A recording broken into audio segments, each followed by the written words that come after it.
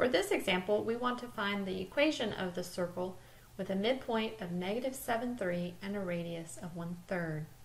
Midpoint or center can mean the same thing.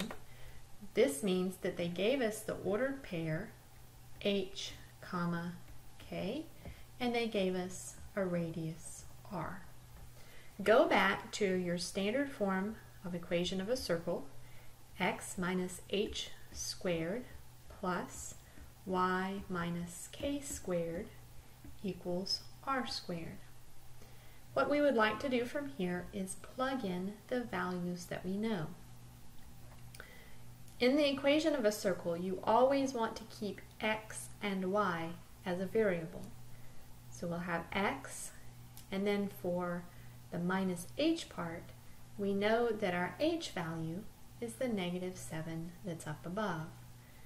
The formula has a negative in it, and so it'll be x minus negative negative 7 squared plus, and then y minus, the k value is given as 3. And you square that quantity, and then the r is equal to 1 third. You also make sure that you square that quantity. Now, from here, you want to simplify. x minus a negative 7 is the same thing as x plus 7 quantity squared plus y minus 3 doesn't reduce. So y minus 3 squared.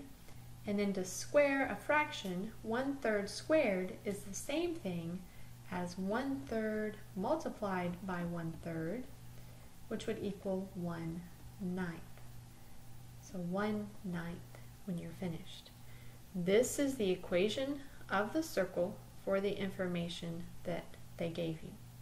One thing that I will make a note of is if they give you the center, notice that when you plug into the formula, the signs on the center that they gave you change. In other words, they gave you a negative 7 as the h value. When you plug it in, you eventually get a positive 7. They gave you a 3 as the k value. When you plug it in, it ends up being a negative 3. So similar to when we want to find the center, we have to take the opposites. If you are given the center and you're plugging in, you also take the opposite of the signs.